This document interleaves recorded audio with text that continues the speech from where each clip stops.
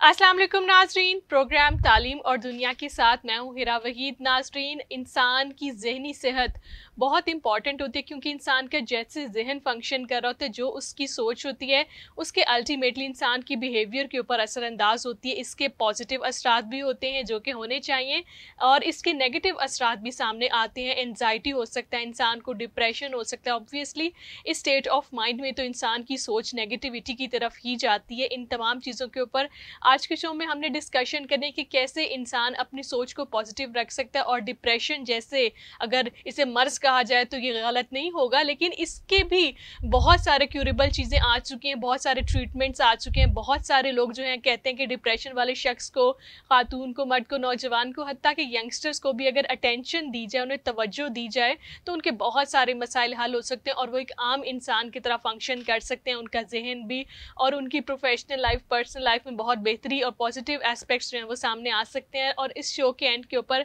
आपको पता चल जाएगा कि अगर आपको डिप्रेशन हो रहा है एनजाइटी हो रही है टेंशन है स्ट्रेस है तो आप अकेले नहीं हैं। ये माशरे में हर दूसरे फ़र्द के साथ हो सकता है और होता भी है, होता जा भी रहा है। आज इसके क्योर्स के ऊपर बात करेंगे। कैसे हम सब लोगों की ज़िंदगियों को इन डिप्रेशन वाली चीज़ों ने, इस बर्क रफ्तार की ज़िंदगी ने असरअंदाज किया हुआ इन तमाम चीज़ों के ऊपर बात करने के लिए हमारे साथ मौजूद हैं निदा तहरीम, जो कि क्लिनिकल साइकोलॉजिस्ट हैं। निदा से डिस्कशन करेंगे आज के डिप्रेशन अगर किसी को कोई कह दे कि बीमारी हो गई है तो इससे कैसे बचा जाए ताकि इंसान एक हेल्दी लाइफ की तरफ़ जा सके? निदा, बहुत शुक्रिया। क्या कहेंगी इंसान का जहन माइंड और मेंटल हेल्थ जो है, इसकी देखभाल करना पॉजिटिव थिंकिंग अपनाना कितना ज़रूरी है? Assalamu alaikum. First of all, thank right. you so much for inviting me.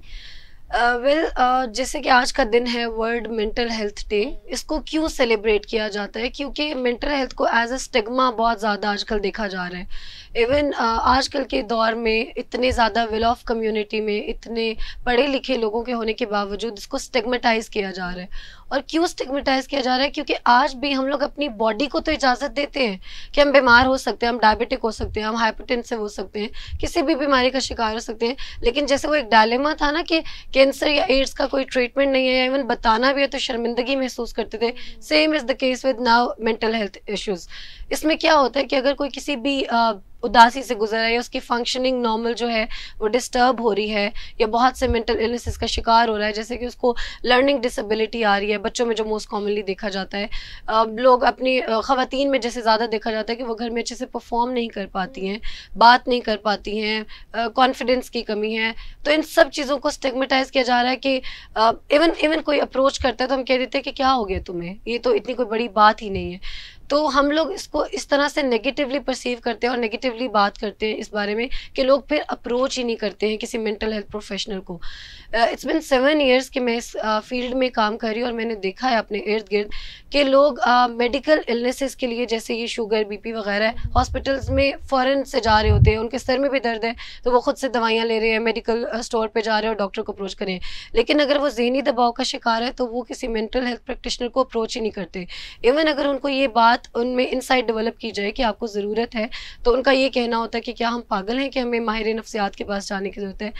Mental illness basically कोई पागलपन या ऐसा कुछ नहीं होता, एक साइकोलॉजिकल स्टेट होती है यू कैन से अ कंडीशन जिसमें से कोई भी गुजर सकता है, आप और मैं भी गुजर सकते हैं। अब जैसे आजकल के दौर में आप देखिए, ये जो नेचुरल डिज़ास्टर हैं, जैसे अर्थ को एक हो गया कोविड नाइन्टीन गुजरा है मोस्टली उसके बाद अभी आप ये देख लें फ्लड्स आए हुए हैं तो ये एक बहुत बड़ा स्ट्रेस है।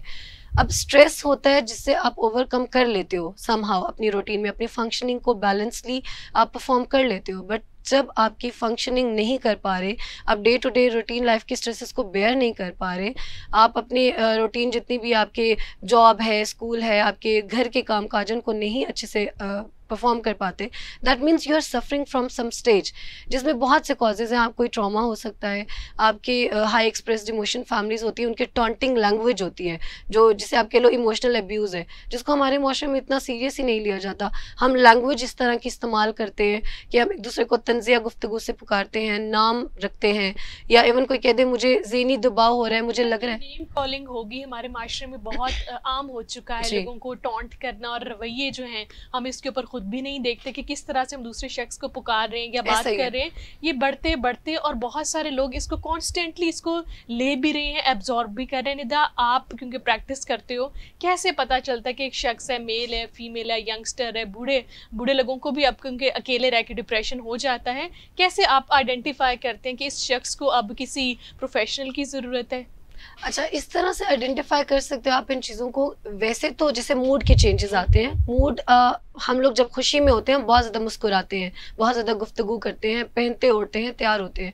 अब इसको आप कैसे डिफ्रेंशिएट कर सकते हो? और जैसे लो मूड है, उदासी है, मेरा रिज़ल्ट अच्छा नहीं आया है, मुझे कहीं जाना था, कोई भी मिसाप हुआ, मैं नहीं जा पाई, दिल खफा है। नॉर्मल रूटीन से हट के माइल्ड तो है तो दैट इज़ फाइन वो नॉर्मल है। आप इसको सीरियस कब लोगे? जब आप कोई और फ़ंक्शन परफॉर्म नहीं कर पा रहे, या मोस्ट ऑफ़ द टाइम जैसे डीएसएम होती है डायग्नोस्टिक एंड स्टेटिस्टिकल मैनुअल जो हम साइकोलॉजिस्ट इस्तेमाल करते हैं, इसी तरह आई सी टेन होता है, ये मैनुअल होते हैं, इनके अंदर ड्यूरेशन होती है, बाकायदा क्राइटेरियाज होते हैं, उन क्राइटेरिया को मीट करना होता है। जब आपके कुछ स्केलिंग्स हैं, कुछ स्क्रीनिंग टेस्ट है, आपके मूड एक नॉर्मल लेवल से हट गया है, वो माइल्ड टू मॉडरेट लेवल पे आ गया इवन मॉडरेट से सोवेटी की तरफ़ जा रहा है। जब मोस्ट ऑफ़ द टाइम आप वैसे ही मूड एक्सपीरियंस कर रहे हो, आप चाहकर भी परफॉर्म नहीं कर पा रहे, आप उसके बारे में इवन बात भी नहीं करना चाह रहे। आपकी रेस्टलेसनेस आ रही है, आप छोटी छोटी बात पे चिड़चिड़ापन शो कर रहे हो, आप बात नहीं समझा पा रहे, आपकी रिलेशनशिप डिस्टर्ब हो रही है, आपकी नॉर्मल रूटीन लाइफ डिस्टर्ब हो रही है that is the alarming stage आप वहाँ पे कहोगे कि यार, अब इसको मेंटल हेल्थ प्रोफेशनल की ज़रूरत है। अब ये नॉर्मली खुद अपने ओन पे परफॉर्म नहीं कर पा रहे या बेयर नहीं कर पा रहे उन चीज़ों को। तो इसके लेवल्स होते हैं। You can say mild moderate severe level होते हैं। जब आप माइल्ड से मॉडरेट या सुवेयर लेवल पे जाते हो, तब आप कहते हो कि आपको मेंटल हेल्थ प्रोफेशनल की ज़रूरत है। और डिप्रेशन की इंतहा क्या होती है? बहुत सारे ऐसे केसेस हम देखते हैं कि जहाँ पे लोग अपनी जान ले लेते हैं, खुदकुशी कर लेते हैं और हती कि सुसाइड को अटैम्प्ट भी करते हैं। ऐसे केसेस कैसे खुदा न खास्ता बढ़ जाते हैं, ऐसी सोच के आनी शुरू हो जाती है उन्हें। ये ये सब चीज़ें देखा जाए तो बहुत बड़े फ़िल्म स्टार्स भी खुदकुशियाँ कर लेते हैं, बड़ी जिसे कहते हैं कि अच्छी पोजिशन के बाद भी ये फ़ेज़ आता है तो इससे कैसे बचा जाए? वेल uh, uh, बिल्कुल पेशेंट uh, जो है या कोई भी क्लाइंट है हम जैसे एक नॉर्मल इंडिविजुअल है वो सुसाइडल हो जाते हैं। जब आप अपने डेली बेसिस पे फ्रेंड से या किसी भी uh, जानने वाले से किसी एल्डर से अपने प्रॉब्लम्स शेयर करते हैं वो आपको अंडरस्टैंड नहीं करता। आपको आपके लेवल पे जाकर नहीं देखता या सोचता कि इसने ऐसी बात क्यों कही है। अगर ये कह रहा है कि मेरा दिल खफा है या मेरी नींद का पैटर्न डिस्टर्ब है ईटिंग पैटर्न डिस्टर्ब है तो ये क्यों ऐसा कह रहा है और ये नॉर्मली नहीं परफॉर्म कर पा रहा? देर इज़ द नीड कि आपको एक मेंटल प्रोफेशनल को अप्रोच करना है, क्योंकि ये थॉट्स होती हैं। थॉट्स को हम कंट्रोल नहीं करते थॉट्स हमें कंट्रोल करती हैं। तो थॉट्स में डिफरेंट कैटेगरीज होती है सोसाइटी की भी डिप्रेशन के पीक पे सोवेरिटी लेवल होती है। उसमें क्या होता है, पहले आपको इंटेंशन होती हैं, फिर आइडिएशन होती हैं, फिर आपको थॉट्स आती हैं देन आपकी अटेम्प्ट होती है। तो ये जो पूरा लेवल होता है, इसी पे कहीं ना कहीं कोई आपको अंडरस्टैंड करता है, या आप अप्रोच कर लेते हो किसी मेंटल हेल्थ प्रैक्टिशनर को तो आप बच जाते हो। वरना जब थॉट एक एक्सट्रीम लेवल पे या सोवेरिटी पे चले गए तो you can not be able to control your thought फिर आप अटेम्प्ट की तरफ़ जाते हो। निदा कि यंगस्टर्स भी आजकल हमारे डिप्रेशन का शिकार हो रहे हैं। हालाँकि यंगस्टर्स को तो एक कॉम्पिटेटिव लेवल के ऊपर होना चाहिए था। उनकी क्या जहनी आप लोग क्योंकि पढ़ते हैं लोगों से लोगों से मिलते रहते हैं। तो यंगस्टर्स में डिप्रेशन का और सिवियर डिप्रेशन का रुझान क्यों बढ़ रहा है? अगेन uh, मैं कहूँगी लैक ऑफ़ अवेयरनेस है। लर्निंग uh, के कुछ इश्यूज़ हैं। और कुछ आपने देखा है कि आजकल बढ़ती हुई ये इन्फ्लेशन पॉवर्टी ये इश्यूज़ एक वजह बन रहे हैं। लोग बहुत ज़्यादा क्वालिफाइड हैं बट उनको जॉब्स नहीं मिल रही हैं। इसी तरह महँगाई बढ़ गई है आपके आपस के रिलेशनशिप्स बहुत डिस्टर्ब हो रहे हैं और लोग बहुत डिमांडिंग हो गए हैं। और जहाँ तक आपने यंग जनरेशन की बात की तो हमारे बच्चों को ये लगता है कि अगर वो फ़ील्ड में आगे जैसे मेरी फ़ील्ड में साइकोलॉजी में डे बाय डे इंक्रीज हो रहे हैं नंबर ऑफ़ स्टूडेंट्स लेकिन आपकी जॉब्स नहीं है आपकी अवेयरनेस नहीं है. Even hmm. घर पे इन नामों से पुकार जाता है अच्छा आप पागलों के डॉक्टर हो. Sorry for using the word तो इस तरह से बहुत अवेयरनेस की कमी है जिसके लिए हमें कैंपिंग हमें डिफरेंट सेमिनार्स uh, और इन चीज़ों की अवेयरनेस देनी चाहिए. इवन स्टूडेंट्स को चाहिए वो अपने ओन पे डिफरेंट किस्म के स्क्रीनिंग uh, टेस्ट करें. टीचर्स को चाहिए कि वो यूनिवर्सिटी और स्कूल के इनिशियल लेवल पे बच्चों के लेवल पे ये चीज़ करें क्योंकि देखिए बिहेवियर बच्चे का बिल्ड होता है। हम्म। वहाँ से जाके ग्रोथ और डेवलपमेंट होती है। तो वो बड़ा जाके अगर किसी भी प्रॉब्लम का शिकार है तो माइट भी बचपन में कोई न्यूरोटिक ट्रेंड्स हों वो जैसे कुछ चीज़ें दिख जाती हैं नेल बाइटिंग है थम सकेंगे वो लेटर ऑन जाके क्रिमिनल बिहेवियर बनता है सुसाइडल बिहेवियर बनता है डिमांडिंग बिहेवियर बनता है। और हम उस एज पे क्या कहते हैं बच्चा है बड़ा होकर ठीक हो जाएगा समझ जाएगा। बट ऐसा नहीं होता। उसका बिहेवियर बिल्ड हो रहा है तो वो बिल्ड हो जाएगा। और पर्सनैलिटी बहुत इनिशियल लेवल पे आपने बिल्ड करनी होती है। तो इसी तरह यंग जनरेशन हमारी इसमें इसलिए जा रही है क्योंकि बर्दाश्त का लेवल बहुत कम हो गया है। आ, हमारे पेरेंट्स जो हमारी तरबियत वगैरह करते थे उसमें बहुत ज़्यादा कमी आ गई है। मैं ये तो हरगिज़ नहीं कहूँगी कि पेरेंट्स इस चीज़ में कुछ गलती कर रहे हैं लेकिन द थिंग इज़ कि उन्हें आजकल के प्रोटोकॉल्स को फॉलो करना पड़ेगा। उनको ये भी देखना होगा कि आजकल के बच्चे किस चीज़ को अंडरस्टैंड करते हैं उनके लेवल पर जाके उनको समझना है। और this is a need I think इसीलिए यंग जनरेशन ज़्यादातर इन चीज़ों का शिकार हो रही है। पेरेंट्स की आपने बात की पेरेंट्स की क्या ज़िम्मेदारी बनती है? क्या वो ज़्यादा बच्चों को अब डीपली देखिए कि कौन से बच्चे का रवैया बिगड़ रहा है? क्योंकि बहुत सारे बच्चे बचपन में नोटी होते हैं फिर वो बड़े होके एग्रेसिव भी हो जाते हैं एक्सट्रीमली एग्रेसिव हो जाते हैं बिहेवियर्स जो हैं उनके बिल्कुल कंट्रोल में नहीं आते। तो ये सिचुएशन घर के ऊपर नहीं कंट्रोल हो सकती क्या? आ, बिल्कुल हो सकती है। आप ये देखें कि कहा जाता है कि आ, बच्चे क्योंकि देखिए ग्रोथ और डेवलपमेंट बच्चे से बेबी से स्टार्ट हो रही है। और हम लोग ये समझते हैं कि अगर स्कूलिंग स्टार्ट हो गई है बच्चा वहीं पे तरबियत सीखेगा। जो आपका बेसिक स्कूल है वो आपका घर होता है। हम्म। आपके पेरेंट्स आपकी बेहतर तरबियत करते हैं। अब आजकल वर्किंग वुमेन्स हैं तो उन्होंने बच्चों को मेड्स के हवाले किया maid can be a good caretaker लेकिन वो तरबियत अच्छी नहीं करेगी इस बच्चे की। क्योंकि बच्चे के लेवल पे आप जाके समझ सकते हो आपको अपनी फैमिली बैकग्राउंड अपने नॉर्म्स का अपने रिलीजियस बैकग्राउंड्स का सेक्ट का आपको अवेयरनेस होती है। तो आपके उसके अकॉर्डिंग बच्चे को लेके चल रहा है। फिर बच्चे आजकल जब स्कूल में जाते हैं या कॉलेज में जाते हैं वो खुद को दूसरों से कंपेयर करते हैं। तो बच्चों को ऐसे अवेयरनेस प्रोग्राम्स में इन्वाइट करना चाहिए उनको फ्री प्रोग्राम्स उनके लिए अरेंज होने चाहिए कि आपने बच्चे की साइकोलॉजिकल तरबियत कैसे करनी है। क्योंकि देखिए अगर साउंड माइंड है तो साउंड बॉडी है। अगर आप मेंटली हेल्दी नहीं हो तो उसे मोटा करके फुला देने का बच्चे को कोई फ़ायदा नहीं है।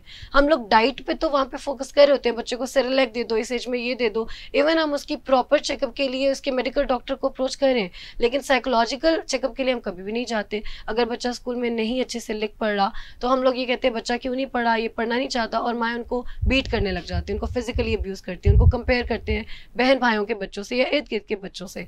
जबकि हम उनके लेवल पर उनको अंडरस्टैंड नहीं करते। उनके ईटिंग पैटर्न उनकी टॉयलेट ट्रेनिंग उनके बिहेवियर पैटर्न बहुत ज़रूरी होती है। साइकोलॉजी में इस चीज़ पे बहुत फोकस किया जाता है डिफरेंट साइकोलॉजिस्ट की इसमें अप्रोच होती है कि जो अर्ली डेवलपमेंट है, जो अर्ली चाइल्डहुड डेवलपमेंट है, वही मेन मेजर रोल प्ले करती है आपकी लेटर ऑन डेवलपमेंट और पूरी पर्सनालिटी में, वही बिल्ड करती है। तो दिस इज़ वेरी इंपॉर्टेंट कि पेरेंट्स को वहाँ पे गाइडेंस दी जाए because that is the first school जिससे हम बहुत कुछ सीखते हैं। बहुत शुक्रिया। व्यूवर्स ये थी निदा, जिन्होंने तफसील से हमें बताया कि कैसे इंसान अपनी पॉजिटिव थिंकिंग को अपनी लाइफ के अंदर इम्प्लीमेंट कर सकता है। और अगर कोई शख्स मेल या फीमेल इतना अच्छा फ़ंक्शन नहीं कर रहा अपनी लाइफ में तो उसके आसपास के लोगों को फ़ौर से एक्टिव होकर देखना पड़ेगा कि क्यों इस शख्स के जो डेली परफॉर्म वाली ड्यूटीज़ हैं, इसके अंदर कोई लैक आ रहा है, कोई किसी किस्म की कोताही हो रही है।